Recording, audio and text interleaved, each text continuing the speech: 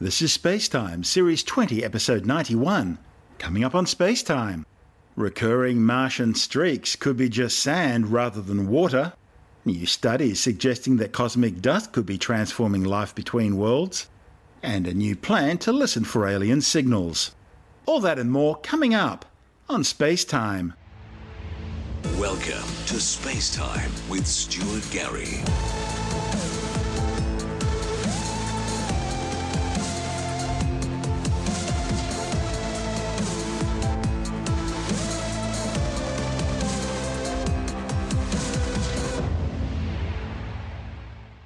A new study claims dark streaks, often seen on the slopes of Martian gullies and ravines, could be caused by moving sand rather than melting subsurface permafrost. The conclusions reported in the journal Nature Geoscience provide an alternative to previous speculation that the features, known as recurring slope lineae or RSLs, are caused by flowing meltwater from permafrost layers seeping out from the sides of gullies and ravines. Liquid water is essential for life as we know it, so the possibility of liquid water present on Mars today has excited many in the astrobiology community. We already know that Mars was once a warm, wet world, but that was some 4 billion years ago, and since then it's lost most of its thick protective atmosphere, allowing most of the water to degas into space, in the process turning the red planet into a freeze-dried desert. The new data from NASA's Mars Reconnaissance Orbiter spacecraft indicates that the dark streaky features could be interpreted as granular flows, where grains of dust and sand slip downhill leaving dark streaks rather than the ground being darkened by seeping water. Continuing examination of these still perplexing seasonal dark streaks show that they only exist on slopes steep enough for dry grains to descend in the way they do on the faces of active sand dunes here on Earth. Therefore, the findings argue against the presence of enough liquid water for microbial life to thrive at these sites. However, scientists aren't yet able to explain exactly how these numerous flows begin and then gradually grow. The study's authors propose possibilities that include at least the involvement of some small amounts of water. That's indicated by the detection of hydrated salts observed at some of the flow sites. You see, the dark streaks gradually extend downhill during warm seasons when permafrost water would have had a chance to melt. They then gradually fade away during the winter, only to reappear in the next warm season. And that's the point. On Earth, only seeping water's known to behave in this way. Many thousands of these dark streaks have been identified on Mars at more than 50 separate rocky areas, ranging from the equator up to about halfway towards the poles. In other words, only on those regions on the Martian surface where it could theoretically get warm enough during summer months for water to melt. The study's lead author, Colin Dundas from the US Geological Survey, says scientists thought the dark streaks were possible liquid water flows. The problem is the slopes are more like ones one would expect to find for dry sand. The new understanding supports other evidence that shows these regions of Mars to be very dry. The data includes three dimensional models of slope steepness, using pairs of images for stereo information. Dundas and colleagues examined some 151 dark streak features at no less than 10 separate sites. Interestingly, they found that all the streaks are restricted to slopes steeper than 27 degrees, and each of these flows seems to end on a slope that matches the dynamic angle of repose as seen on both slumping dry sand dunes on Mars and on Earth. Flow due to liquid water would readily extend to less steep angles on the slope. And that's the key the dark streaks on Mars don't flow onto shallower slopes. In fact, the lengths of these are so closely correlated with the dynamic angle of repose, it can't simply be a coincidence. The seasonal dark streaks have long been thought of as possible evidence for biologically significant liquid water, that is, sufficient water for microbial life. A granular flow explanation for the dark streaks fits with the earlier understanding that the surface of modern Mars, exposed to a cold, thin atmosphere, lacks flowing water. Any permafrost that does melt would immediately sublimate into the atmosphere. What it all means is that liquid water on today's Mars may well be limited to traces of dissolved moisture from the atmosphere and thin films, which are challenging environments for life as we know it. Still, the dark streaks do remain puzzling. That's because they do have traits that are difficult to explain. Among those problematic issues is the gradual growth of these streaks, their seasonal summertime reappearance, their rapid fading when inactive, and the presence of hydrated salts, which do have water molecules bound in their crystal structure. The authors of the new report have come up with some possible connections between these traits and how the dark streaks form. The salts can become hydrated by pulling water vapour out from the atmosphere, a process which can form drops of salty water. And seasonal changes in hydration of salt containing grains could result in some trigger mechanism for dark streak grain flows, such as expansion, contraction, or the release of some water. The darkening and fading of the streaks could also result from changes in hydration. However, if atmospheric water vapour really is the trigger, then the question is why the dark streaks only appear on some slopes but not others. The authors speculate that the dark streaks are probably being formed by some mechanisms that are unique to the environment of Mars. However, the bottom line's got to be that fully understanding these dark streaks is likely to depend on on site investigations of these features.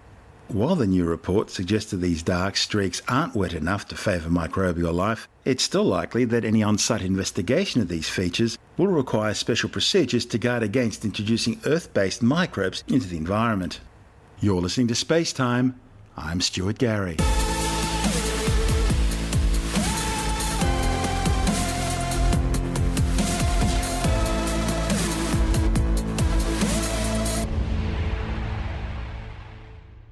Study suggests that life on Earth may have originated from biological particles brought to the planet in streams of cosmic dust. The findings, reported in the journal Astrobiology, claim fast moving flows of interplanetary dust that continually bombard Earth's atmosphere could deliver tiny organisms from far off worlds. Alternatively, they could also be sending Earth based organisms to other planets. Dust streams could collide with biological particles high in Earth's atmosphere with enough energy to knock them into space. Such an event would enable bacteria and other forms of life to follow the rules of panspermia, making their way from one planet in the solar system to another, and perhaps beyond. The study's lead author, Professor Arjun Berera from the University of Edinburgh, says the proposition that space dust collisions could propel organisms over enormous distances between planets raises some exciting prospects as to how life and the atmospheres of planets originated. Berera says the streaming of fast space dust is found throughout planetary systems and could be a common factor in the spread of life. The findings suggest that large asteroid impacts may not be the sole mechanism by which life can be transferred between planets, as was originally thought under panspermia. The researchers reached their conclusions by calculating how powerful flows of space dust, which can move at up to 70 kilometers per second, could collide with particles high in Earth's atmosphere. They found that small particles existing at 150 kilometres above Earth's surface could well be knocked beyond the limit of Earth's gravity by space dust, eventually floating onto other planets. The same mechanism could also enable the exchange of atmospheric particles between planets. The researchers point out that some bacteria, plants, and even some small animals like tardigrades are known to be able to survive in space, so it's possible that such organisms, if present in Earth's upper atmosphere, could collide with fast moving space dust particles and then withstand the journey to another world. I'm Stuart Gary. This is Space Time.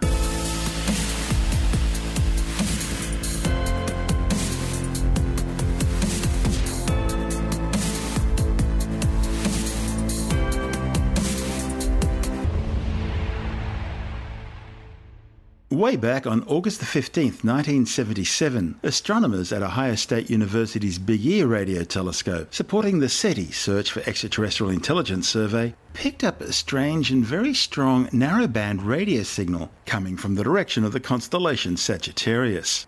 The mysterious signal was so unusual, astronomers drew a circle around it on a computer printout and then wrote the word wow with an exclamation mark next to it in the margin. The computer printer was simply an alphanumeric sequence, 6EQUJ5, which represents the intensity variation of the radio signal over time. The entire signal sequence lasted for the full 72 second window during which the Big Ear was able to observe it. But it's not been detected since, despite many subsequent attempts. Two different values for the signal's frequency have been given 1420.36 MHz and 1420.46 MHz, both very close to the 1420.41 MHz value of the hydrogen line, the electromagnetic radiation spectral line by a change in the energy state of neutral hydrogen atoms, a frequency long speculated as a possible natural signpost for any hypothetical aliens wanting to make radio contact. There have been many hypotheses to try and explain the origins of the signal, including both natural and man made sources. But so far, none of them have adequately explained the result. One idea involved interstellar scintillation of a weaker continuous signal, similar to atmospheric twinkling. Other hypotheses include a rotating lighthouse like source, a signal sweeping in frequency, or a one time burst. Of course, it could just as easily be an Earth source signal that simply got reflected up onto a piece of space debris, or it may have been a classified military signal. Earlier this year, it was suggested that a hydrogen cloud surrounding two comets, 266P Christensen and 335P Gibbs, would have been in just the right position at the time. The problem with that idea, however, is that while the hydrogen cloud would have been in the right place, the two comets won't. And it's also worth pointing out that comets usually aren't radio bright at these frequencies. To many, the WOW signal remains the strongest candidate for an alien radio transmission ever detected. But that's got to raise the question if they are there, and if they did send a signal, why would they only do it once? There are lots of other campaigns, including SETI, still listening for intelligent alien signals. And a new campaign is now underway to listen for alien signals, not from Sagittarius, but from M31 Andromeda. The story is in the new issue of Australian Sky and Telescope magazine, which has now hit the newsstands. Joining us now with the details is the magazine's editor, Jonathan Nally. We've got a really good article about listening for signals from aliens from the Andromeda Galaxy. The big wow! Galaxy, the big wow, the, the yeah, the wow signal. Well, that's what they're trying to find. Uh, the Andromeda Galaxy is, is, I love the name, the Andromeda Galaxy. It's just full of um, connotations from science fiction over the over the decades, going right back hundred years or so. All sorts of things are supposed to happen in the Andromeda Galaxy or come from the Andromeda Galaxy. In reality, it's a very long way away, and it's actually a very large galaxy. It's bigger than our galaxy, similar sort of galaxy to ours. Yes, it is. It's a spiral, just like ours. Yeah, much, much bigger than the Milky Way, but it's a long way away. So this fellow decided to uh, have a listen. He actually got time on the, um, that's what astronomers call it, getting time, you know, book some time. Well, you don't book it, you apply for time on one of these telescope systems, and you, know, you, you put your application in with all sorts of other people who are trying to get time on it at the same time, and uh, committees decide who's got the most worthy project, and they give you it might be half a night or a full night or a,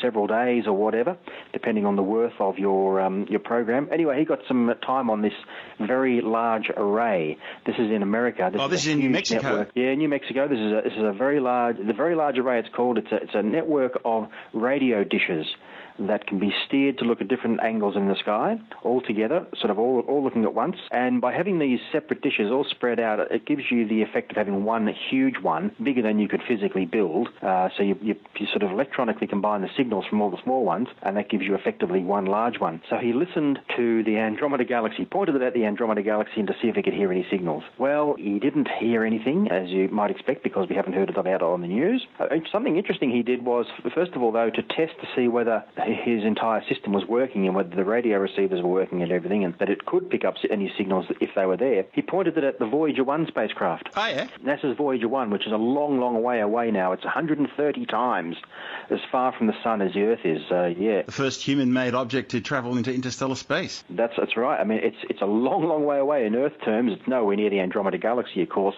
But the reason he pointed his, his system at that and tried to pick up the signals from it is that the signals coming from it are very, very faint and a very long way away and hard to spot. And he, and he managed to get, of course, Voyager 1, so he knew that his system was working. So then he pointed the telescopes at the Andromeda Galaxy. Now, if there had been any aliens there that had sent out signals, of course, the signals would have left the Andromeda Galaxy a long, long time ago in order to be reaching us now. About and they would have had to have years, been, isn't it? Yeah, yeah. Well, and we weren't even around two million years ago, and they would have had to have incredibly strong, powerful signals to be broadcasting over that depth of space. Something around about almost 20,000 million megawatts, which is uh, an enormous sort of signal. In our terms here on Earth, I mean, we wouldn't have any any reason to be putting out that much signal. I don't think we, we could. Yeah, we often we often joke about how well if there are aliens, they know we're about because they would have heard early episodes of I Love Lucy and, and Mr. Ed and things like that. But in actual fact, that's not quite how it really works in real life. The signal's got to be very narrow, and that would have been a very broad signal that we were sending out on it. Yeah, our, our, our TV signals and our radar signals um, are quite powerful here on Earth, but further out they go in space, the more dissipated they become, yeah. and, and they get fainter and fainter. Certainly, though, if, if there were anyone nearby listening to us, then they, they would spot us. But uh, the further out you get, the harder it becomes. And interestingly, when the um, square kilometre array radio telescope system is up and running in 10 or 20 years' time, it's going to be super sensitive and will be able to pick up faint signals from a very, very long way away if there are any aliens out there, either intentionally or unintentionally broadcasting. So we can look forward to having that capability and it'll be interesting to see if they find anything. But for this particular uh, instance, this man I'm telling you about, the scientist who was looking at the Andromeda Galaxy, no, didn't find anything, didn't pick up any signals, but that's good because that, see, in science, that's good. That's an okay result because that tells you, it doesn't absolutely tell you there's no one out there broadcasting. It just puts a limit on what there could be if there's anything. Either there could be people out there broadcasting but not powerful enough radio transmissions to be able to be picked up by his particular electronic setup. So negative results are perfectly fine in science. It just means that you know you have to go one step further if you want to listen more and more and more. It's a bit like the gravitational wave signals that they've been getting lately, right? We now have the the super duper gravitational wave observatories that have enough sensitivity to pick up really faint signals. But there have been gravitational wave observatories for the last 30 years or so. It's just that when they first started listening with the early ones, they weren't sensitive enough. They didn't get any results. They thought, okay, we're not getting any results, but we think there should be things out there, so we're going to have to build even more sensitive ones, which they did. Still didn't get any results. And you think, well, to have to give, go one step further. So that's how it works in science. Absence of evidence isn't evidence of absence. That's exactly right. And so, to that end, there's going to be a new program starting soon called the Breakthrough Listen Project. This is going to be a SETI project. SETI stands for the Search for Extraterrestrial Intelligence, and they basically all amounted to listening for any signals that might be coming in from outer space. And there's $100 million going into this from a fellow called Yuri Milner, who's a, a multi millionaire. Yeah, everyone talks about him being this great entrepreneur. He's more than an entrepreneur, he's also a physicist. So, he's a real scientist. And of course, Stephen Hawking's involved in this too. Yeah, yeah um, that's right. So he knows what he's doing. He's got a lot of money. I can't remember how he made his money, but he's got a lot, a lot of money that he's putting into this. Um, yeah, let's not go there. We mention, yeah, let's, let's not go. We won't mention the Paradise Papers, eh? Did you know that he's invo- uh, been mentioned in that? Oh, is that right? Yeah. not it's not to suggest that no. he's doing anything illegal no, or no, any of them no, doing no, illegal. Of course it's, not. But it's all, you know. Yes. Anyway, that's. Mm. So anyway, that's really interesting. So we've got a very good story about um, listening for signals from the Andromeda Galaxy. Now, speaking of hunting for things that might be out there, we also have a really good story on hunting for Planet X in our solar system. Now, when I was growing up, there was this putative thing called Planet X that people were talking about. What they were talking about You mean Duck was, Dodgers in the 24th and a half century? That's the ones. Duck Dodgers in the 24th and a half century. This was uh, a putative planet out beyond Pluto when Pluto was still considered to be the ninth planet. Now, the reason that some people thought there might be a tenth planet out there was because when when they measured the orbit of Pluto, or uh, they watched as Pluto was trundling slowly along in its orbit, and it takes 248 of our Earth years for Pluto to make one orbit of the Sun, which is one of its years. So it travels very slowly. So as they were slowly watching this planet move along, Pluto. They thought there were inaccuracies in the, the orbit. You know, the orbit it wasn't quite going the way they expected, so they thought maybe there's another planet further out that's gravitationally tugging on it, and this was nicknamed Planet X. It turned out that wasn't the case. In fact, it was just our measurements of Pluto's orbit were a bit inaccurate, and once they got more accurate measurements, everything was fine, and there was no need then to postulate that there could be a, a Planet X out there. The world supply of Illudium Phosdex, the shaving cream atom, is alarmingly low. Now, we have reason to believe that the only remaining source is on Planet X, somewhere in this area. But zip forward a few more decades, or quite a few decades now, and there is reason to think that there might be a Planet X out there now. It would then be the ninth planet now that Pluto's been demoted. And of course, the irony of all that is that the guy who uh, is one of the scientists involved in the possible detection of a planet nine is the same guy who was behind the demotion of Pluto from planetary to dwarf planetary status. That's exactly right. So, uh, yeah, not not an entirely um, popular move to to poor, demote poor old Pluto. He put out a fabulous book. He, I think it was titled something like um, "Why I Killed Pluto." Yes. And how I killed how I killed Pluto and why it had it coming. so, so interesting story. But so anyway, the evidence now for the possible existence of a new planet X out there is that astronomers have found lots and lots and lots of small icy bodies that are orbiting the sun at huge distances, way beyond Pluto. Lots and lots of them out there. There are probably millions of them out there, but they've spotted some, you know, fairly sizable ones, nowhere near planet size, but big enough to, to spot. And what they found was, really strangely, they all seem to have sort of similar sorts of orbits. Now, these are so far out, these bodies, that they wouldn't be affected by the gravity of all the other planets in our solar system very much at all. So you wouldn't expect them to be, you know, heavily influenced by Jupiter or Saturn or anything like that. They should just be doing their own thing out there. But these bodies that they've detected uh, and have been following are, are, have got similar sorts of orbits, so much so that it's sort of unlikely they would happen to be that like that by chance. What could explain it is that if there is a large planet a long, long way out, so far out and therefore so dim and moving so slowly that we wouldn't have spotted it so far, that could explain strange orbits of these uh, other bodies they found. So that's what they're calling Planet X. And this planet would be about 10 times the mass of the Earth based on the perturbations they've found in the orbits of these, I think it's 13 Kuiper Belt objects that they're looking at. Yeah, so that's that's probably, you know, uh, Neptune size or something like that. It, Mm, it's a yes, fairly large very much planet. so. But, but, but a long, long way out, be very dim and, and moving very slowly because the further out away from the sun you are, your orbit becomes slower and slower. I mentioned before that uh, Pluto's orbit takes 248 of our years to go around the sun. We only take one of our years to go around the sun. So the further out you get, the slower you move. So when you take pictures of all the stars, the way you spot planets and things is by seeing things. You take two pictures and see if anything's moved in between. So this would be so far out that it would be uh, would have been uh, overlooked by now, even if we'd been pointing in the right direction with our telescopes and had images sensitive enough to pick up the faint light from something at that distance. Well, anyway, they're, they're starting to look for it, and the good thing is that um, you and I and anyone else can actually get involved. There's a thing called Zooniverse, which is one of these citizen science projects that you can get involved in, and you can get online and you can help them by looking at the pictures they're taking and see if you can spot anything moving. Uh, the more people involved, the better. So that's really something really interesting you can get involved in. Lots of citizen science projects in all sorts of sciences, but particularly astronomy as well. And in fact, astronomy was where the first citizen science project, uh, the online ones at least, really started to take off. So a really interesting thing, the hunt for Planet X and how you can get involved. You can learn all about that in the November issue of uh, Australian Sky and Telescope magazine. Now, we've been talking about things a long way away. We've been talking about Andromeda Galaxy, long way away, millions of light years. Um, this hunt for Planet X, millions and millions and millions, billions of kilometres from the Sun. We've got a really, really interesting article written by some amateur astronomers about how they went out into the desert with a whopping great, huge amateur-sized telescope. I'm talking one that's got a mirror that's 1.2 metres wide. That's about six or seven times the normal size of a backyard telescope. That's almost is sort of- professional size, isn't it? well, this is the sort of this is the size of telescope that would have been considered a professional telescope 30 years ago or so. It's a whopper, and some amateurs now have these telescopes. They- They're quite expensive. I certainly couldn't afford to have one, but some people do, and good on them. So these fellows went out to have one of their observing sessions uh, in the really dark skies of the desert, and they were looking to see some faint galaxies that they'd always wanted to see, which you can which you can pick up with these giant telescopes. And so they're up there. And in fact, you had, the, the telescope's so big that you have to get up on a ladder to get right to the top of it. A very large ladder. So much so that one of the guys was saying how uh, you know, he was a bit iffy about getting up on top of this ladder, but as soon as he looked through the eyepiece of the telescope, all those fears disappeared. But the interesting thing was that while they were looking at one of these galaxies, one of them spotted some little, little sort of blue dot just off to one side, and I thought, what's that? Uh, that? That looks a bit funny.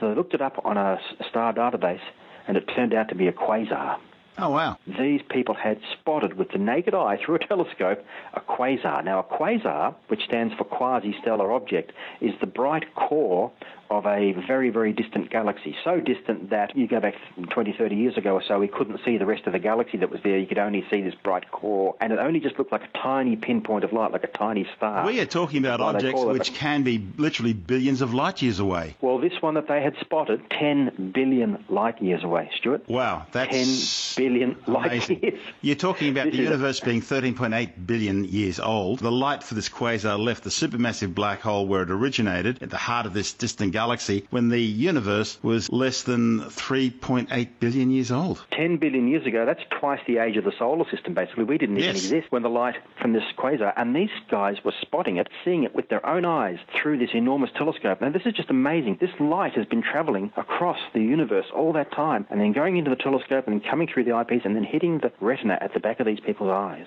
I'm amazed that it was blue. That uh, what, is, what does that tell us, considering how much the universe has stretched in that time? Why doesn't the quasar appear red? Quasars peak in their energy output at 1,000 angstroms. For a quasar at redshift of 1.87, this peak will shift redward to 2,870 angstroms, making it appear blue. The quasar would have to be much further away or surrounded by dust to appear red. Okay, so it's putting out its energy at a frequency that's even bluer than blue, and therefore red shifting it brings it into the blue. Quasars have to be further away to appear red. And by redshifting, we mean the expansion of the universe itself, the way the uni- space-time yeah. itself is physically expanding.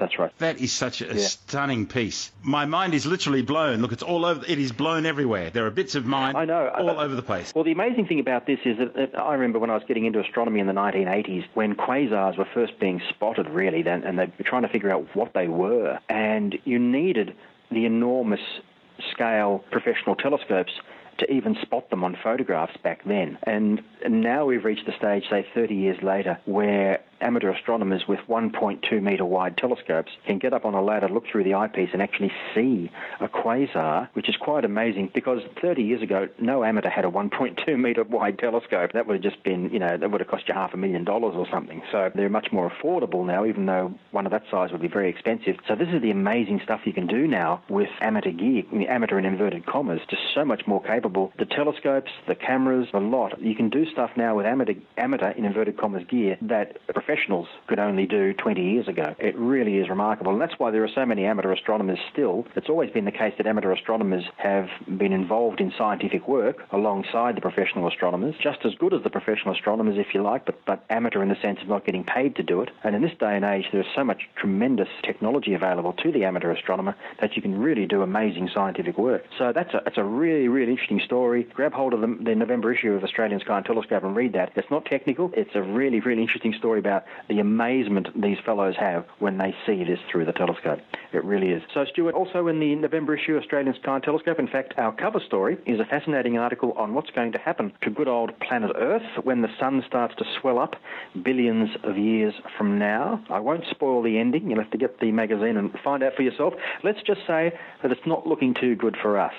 Okay. Oh, it makes me feel it that way. Um, I, I, fortunately, I won't be around then, but uh, yeah. So, Stuart, lots and lots of stuff to, to read and do. That's Jonathan Nally, the editor of Australian Sky and Telescope magazine.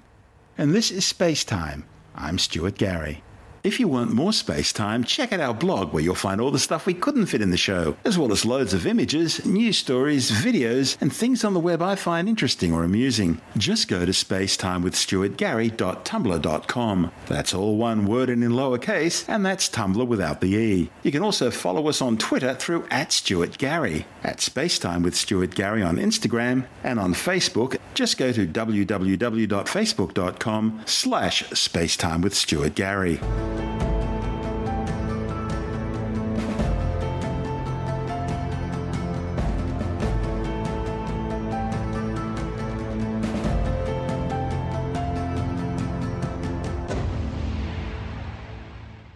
The penultimate launch of the Delta II rocket has successfully placed the first of a new generation of advanced weather satellites into orbit.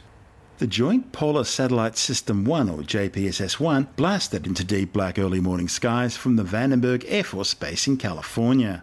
Rock, report range status. This is Rock. Range is green. LC T minus 60 second limits on. And the range operations controller reports that the range is green. T minus 45 seconds and counting. LC launch enable to flight. Flight. ATC 3 main power disable on. On. Minus 35. Hydraulics are go. T minus Minus 30 30. seconds. Status check. Go Delta. Go JPSS. Minus 20 seconds. Launch conductor Scott Bonnet reports a green board. Everyone is go. T minus 6, 5, 4, 3, 2, engine start, 1. And liftoff of Delta II and NOAA's Joint Polar Satellite System 1, making the U.S. a more weather ready nation. The Delta II is proceeding on a flight azimuth of 196 degrees, just to the west of 180 degrees south. Looking good. Also seeing a good symmetric burn across all six ground lit solids. We're listening Now to the voice of Patrick. Moore, ULA flight commentator. 33 seconds into flight, the Delta II rocket will reach Mach 1, breaking the Now speed of 30 seconds. Chamber pressure on main engine and Vernier engines continue to look good. Now passing Mach 1. Delta 2 is now supersonic. At 49 seconds, Delta and 2 continuing encounters to see a very symmetric burn across all six ground maximum solids. aerodynamic pressure, or max Q. This is the point where the mechanical stress in the rocket Now reaches passing its peak. 48 seconds, max Q, maximum dynamic pressure. The six ground lit solid rocket motors will burn out about 64 seconds into flight. Tail off. The three air lit motors will ignite a second and a half later. And we have burnout and ignition of the three air lit solids. Approaching the de- jettison of the Delta 2 the main engine, graphite Vernier epoxy solid rocket motors in three sequences of three. LOX injector The first three will fall away 1 minute 26 seconds into flight, followed a second later by the next three. Now 1 minute 25 seconds into flight, and we have good jettison of all six ground lit solids. The final three air lit motors will continue to burn until they are jettisoned 2 minutes 11 seconds into flight. Chamber pressure on the main engine, both Vernier engines continuing to remain very stable. Gas generator fuel and LOX injector pressure is also looking very good. And we're standing Now by for the two jettison of the final three solid rocket motors. Chamber pressures on the airlit solids tailing off in preparation for burnout. And we have burnout of the airlit solids and good jettison of all three airlit solids. And the booster LOX tank press valve has been open. LOX tank ullage pressure response looks good. 2 minutes 30 seconds into the flight of Delta. And main engine and Vernier engine chamber pressures continue to remain very stable. Once again, listening to Patrick Moore, United Launch Alliance flight commentator. Now 2 minutes 50 seconds into flight, now passing Mach 10. The next major milestone is main engine cutoff, or MECO. The first stage RS 27A main engine and will three cut minutes off. into flight. Engine operating parameters on main engine and both Vernier engines continue to look good. MECO is scheduled for 4 minutes 20 seconds after liftoff. Minutes 20 seconds into flight. Just one minute remaining now until main engine cutoff. And vehicle body rates have smoothed out nicely now as the vehicle continues to climb through the upper atmosphere. Nine seconds after MECO, we'll have separation of the first and second stages of the Delta. Main engine chamber pressure looks good. Both Vernier engine chamber pressures continue to look good. Gas generator fuel and LOX injector pressures remain very stable. Uh, vehicle body rates also looking very good. Now at four minutes into flight, about 20 seconds remaining until main engine cutoff. Uh, following main engine cutoff, the Vernier engines will continue to burn for a few additional seconds to maintain attitude control, uh, leading up to stage separation. Standing by for main engine cutoff momentarily. And we have MECO, main engine cutoff, and VECO, Vernier engine cutoff. And we have good indication of stage separation, standing by for stage two ignition. The first and second stage, the Delta 2 have separated, Stage chamber pressure looks good. and ignition of the second stage. We have a good indication of fairing jettison. And vehicle body rates have smoothed out nicely from the staging events. Now 4 minutes 50 seconds into flight. The first burn of the second stage will last just under 6 minutes. The payload fairing that protected NOAA's JPSS-1 during its dynamic flight through the atmosphere has been jettisoned, exposing JPSS-1 to space for the first time. This first burn of four for the second stage on Delta 2 will position NOAA's JPSS 1 in its correct orbit. The third burn will position a series of CubeSats in their proper orbit. And the fourth burn will be a disposal burn of the Delta 2 second stage. All of these burns happening over the next hour and 45 minutes. Now passing 5 minutes 30 seconds into flight. About 5 minutes remaining in the first burn of the second stage. Vehicle body rate continue to remain very smooth. Chamber pressure on the second stage engine looks good. Hydraulic system pressure on the second stage also looking good. Fuel and oxidizer feed line pressures remain very stable in uh, nominal values. Six minutes Now into passing flight. 6 minutes into flight. Listening to Patrick Moore, ULA flight commentator. And now passing 6 minutes 30 seconds into flight, 4 minutes remaining until engine cutoff. Second stage engine continues to perform well. Chamber pressure remains very stable. Fuel and oxidizer feed line pressures also remain very stable within family. Hydraulic system pressure also remaining stable. And seeing a, a nice decay profile on the helium bottle pressure as expected. Recapping where we are, the Delta II rocket launched at 1:47:36 a.m. Pacific Time, carrying the Joint Polar Satellite System 1 inside a payload fairing atop of the rocket. The Delta II first and second stage engine with nine solid Now rocket motors, 7 minutes 30 seconds into flight. and the Delta second stage have performed well. Rates uh, remaining very smooth, uh, close to zero on roll pitch and yaw body rates. Second stage engine continues to perform well. Chamber pressures and fuel and oxidizer, oxidizer feed line pressures continue to look good. Now eight minutes into flight. Coming up on two minutes till second stage engine cutoff number one. at 10 minutes 30 seconds after launch. And just under two minutes remaining now in the first burn of the second stage.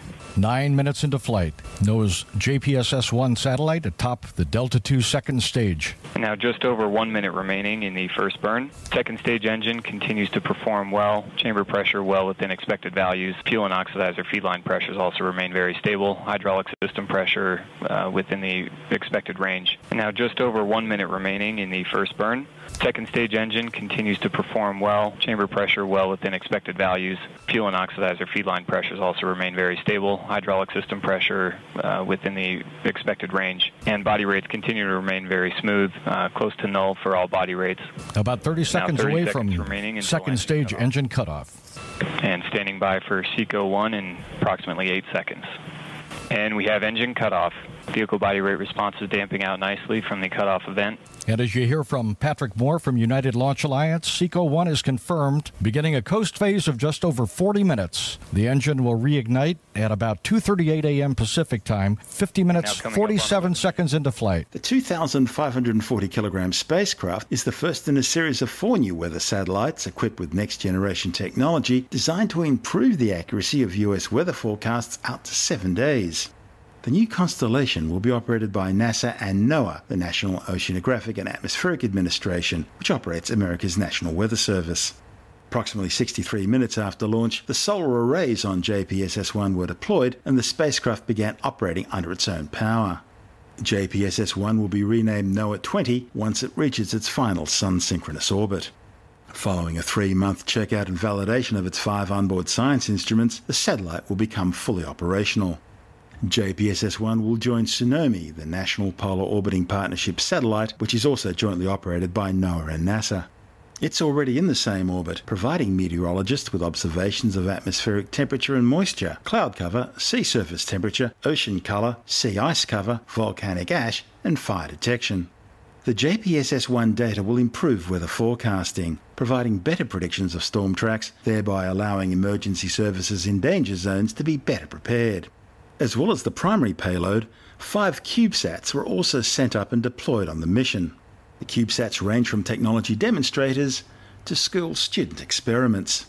The mission also marked the second last launch of a Boeing Delta II rocket. After some three decades of flight, the historic final Delta II launch will blast off next year, carrying NASA's ICESat 2 satellite. This is Space Time. I'm Stuart Gary.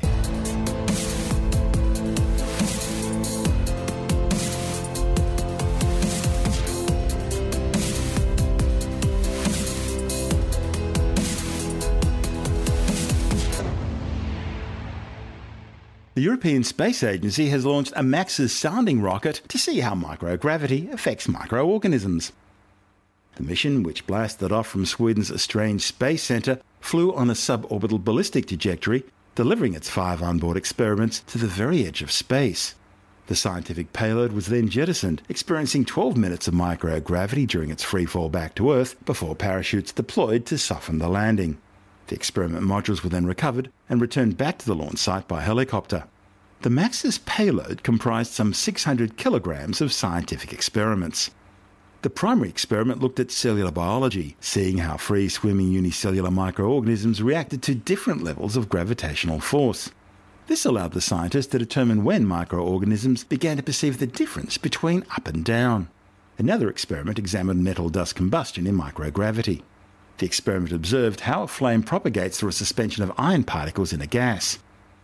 Scientists found the suspension remained stable in microgravity, with the flame remaining undisrupted. The findings could help researchers developing future iron combustion energy systems designed not to produce any greenhouse gas emissions. A third experiment studied solidification physics. It examined how four samples of pre-molten lightweight alloys solidified under different conditions. The alloys would be used in making new generation jet engine turbine blades, and testing their solidification will help improve turbine blade production. Other experiments looked at thermophysical properties measurements and aerodynamics. This was the 10th flight for the 15.5 metre tall MAXUS sounding rocket. The solid fueled rocket launch vehicle is a joint venture between the Swedish Space Corporation and Airbus. It's designed to provide the European Space Agency with access to a freefall test platform for microgravity experiments. The 12,400 kilogram MAXUS rocket can carry up to 800 kilograms on ballistic suborbital trajectories to altitudes of 700 kilometers, thereby providing up to 14 minutes of microgravity for experimental payloads. The experiments are all mounted in reusable modules, designed to allow the transmission of real time data back to ground stations on exactly how the experiments are performing. This in turn allows researchers to follow results in real time and adjust the experiment's parameters during flight. Being able to launch, monitor, and then retrieve experiments all in the one day means researchers can almost immediately analyse their results, something not possible with experiments sent to the International Space Station. I'm Stuart Gary. This is Space Time.